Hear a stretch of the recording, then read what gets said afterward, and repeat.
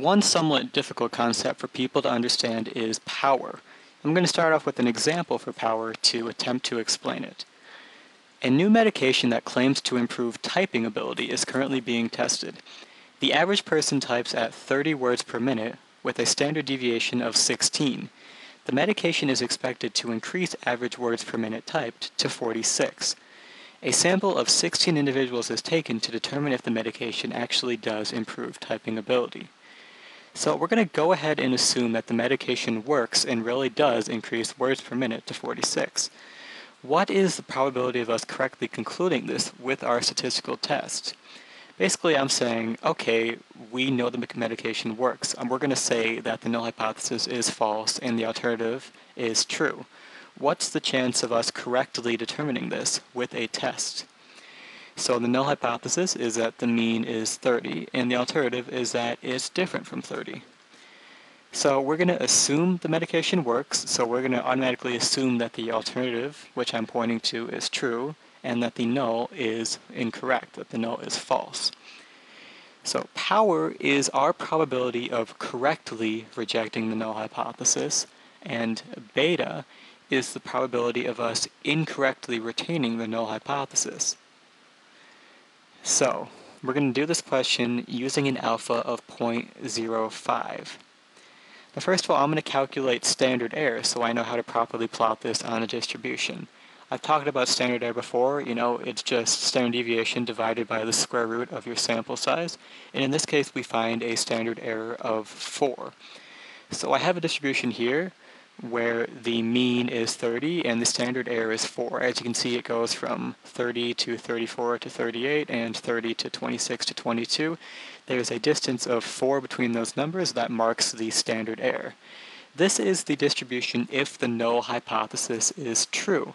And remember, we're using an alpha level of 0.05. So those numbers I have marked there, negative 1.96 and positive 1.96, we would expect 95% of the values to fall between those two values and the other 5% to fall with outside of those two values.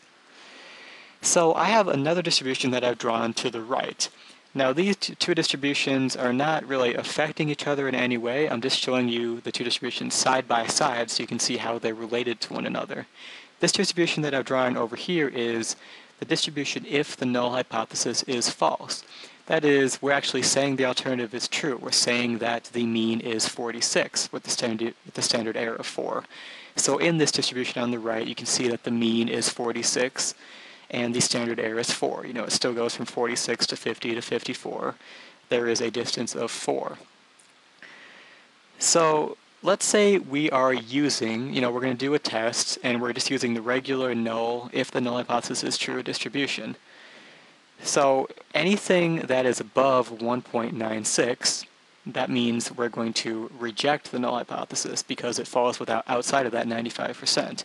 If it's within that 95%, you know, that blue area I have marked, that means we're going to retain the, um, the null hypothesis. So given that the null hypothesis is actually false, you can see that there is a large orange area. If the distribution is actually over there, then there's a very good chance that we're going to end up rejecting the null hypothesis and saying that, oh, okay, so it actually did increase average WPM to 46. This orange area is our power. Remember, power is our probability of making the correct decision, correctly rejecting the null hypothesis when the null hypothesis is false and anything left over is the type 2 error.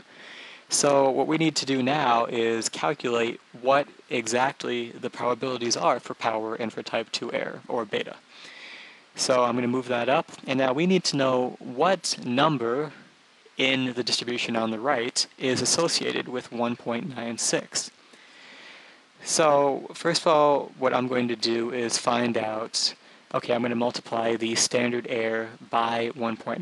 1.96 is how many standard errors we are from the mean. So 1.96 times the standard error of 4 is 4.8, eh, sorry, is 7.84. That means we're 7.84 above the original mean of 30. So that means that value exists, 1.96, 1.96 exists at the value of 37.84. So we can put that right there. And now that we know that it's 37.84, we can use that number to calculate what probabilities are associated with power and type 2 error. So first we're going to calculate the z-score. Now we're using the distribution on the right. We're going to take 37.84 minus the mean of 46 divided by the standard error of 4. And we're going to find out that the 1.96 from the distribution on the left is the same as negative 2.04 in the distribution to the right. So now in order to find the area in the body, I'm going to go to a z-table and I'm going to look up 2.04. And when I look up 2.04, it says that the area in the body is 0.9793. 0.9793 is the power, so it's about 98%. And anything that's left over, you know, 1 minus 0.9793, that 2% is the type 2 error. So there, our power, our 98%, means there's a 98% chance that we will correctly reject the null hypothesis, meaning we will reject the null hypothesis when we're supposed to reject it. And the type 2 error is the chance that we will not reject the null hypothesis when we actually should be rejecting it. So that is power, and that is the type 2 error, which is also called beta.